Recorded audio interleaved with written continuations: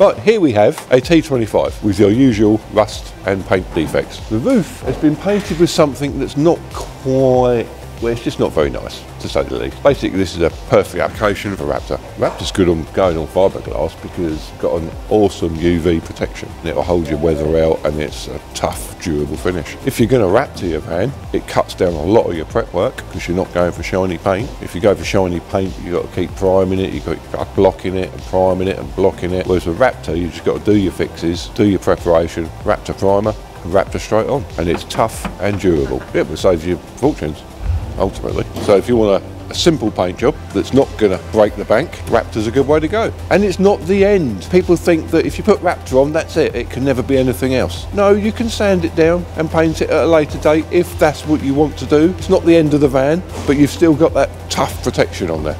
Bosh, job done.